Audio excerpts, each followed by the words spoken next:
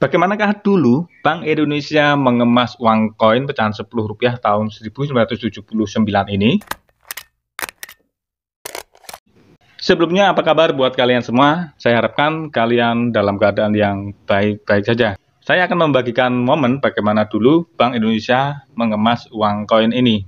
Sebelum era tahun 70-an, Bank Indonesia itu mengemas uang koin dibungkus dalam karung yang dalam tiap karungnya bisa berisi 500 keping dan 1000 keping. Setelah tahun 1970-an ke atas, Bank Indonesia menggunakan dua cara pengemasan. Yang pertama masih mempertahankan menggunakan karung dan berikutnya menggunakan cara yang modern yang hingga saat ini masih dipertahankan. Bagaimanakah bentuknya?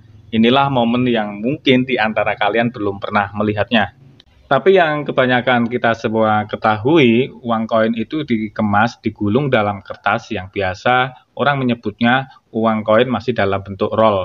Lalu bagaimana dengan pengemasan uang koin pecahan 10 rupiah tahun 1979 yang bergambar ciri khas ada logo lambang Tabanas dan terbuat dari material aluminium, di mana oleh kalangan kolektor koin ini sering disebut dengan sebutan koin 10 rupiah aluminium, ada pula yang menyebutnya dengan sebutan koin 10 rupiah Tabanas putih. Kebetulan saya mendapatkan momen tersebut. Sebelumnya mohon maaf apabila yang saya dapatkan kondisi fisiknya seperti ini, kotor, jelek. Tapi setidaknya ini bisa sedikit memberikan gambaran. Uang kuno dalam bentuk dus ini saya dapatkan dari salah satu kawan numismatik dan sayangnya ketika sudah sampai di rumah saya, stiker segelnya sudah dibuka. Tapi saya memaklumi hal tersebut perlu dilakukan untuk mengecek kondisi di dalamnya. Karena biasanya koin yang berbahan aluminium itu cukup mudah oksidasi. Kita lihat lebih dekat pengemasannya. Berhubung stiker segelnya sudah rusak, saya ambilkan contoh pada pecahan lain.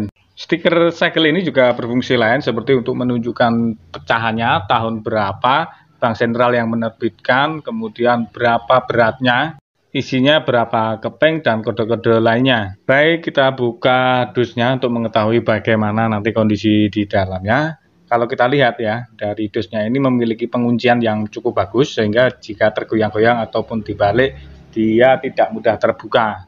Uang koin yang masih terbalut dalam kertas dan kemudian dibungkus dalam box seperti ini, umumnya kondisinya masih berkualitas baru, masih berkilau, Lalu berapa keping isi dalam satu boxnya? Mari kita hitung. Dalam satu roll koin 10 rupiah ini berisi sebanyak 20 keping. Sementara dalam satu boxnya ini berisi 25 roll. Jika dihitung 20 keping kali 25 roll. Jadi dalam satu dus atau satu box ini berisi 500 keping. Bagi yang menyukai koleksi tantangan, mungkin bisa mengkoleksi uang koin dalam bentuk roll, karena uang koin dalam bentuk roll itu cukup sulit dicari. Dan bahkan kalian bisa mendapatkan tantangan lagi untuk melengkapi warna kertas pembungkusnya. Seperti contoh yang sudah saya pegang ini. Apakah perbedaan warna dari kertas pembungkusnya itu karena dampak pengaruh perubahan warna dari lingkungan? Apakah memang benar-benar asli bawaan Bank Indonesia? Saya kurang mengetahui. Tapi saya menduga perbedaan warna ini memang dari bawaan Bank Indonesia.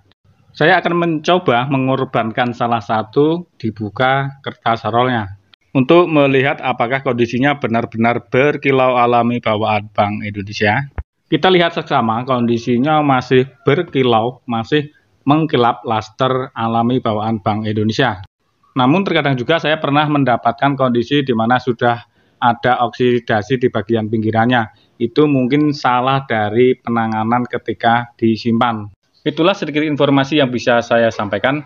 Apabila ada salah kata maupun ada salah data yang saya sampaikan kurang tepat, mohon dibantu dikoreksi di kolom komentar. Sekian dan terima kasih.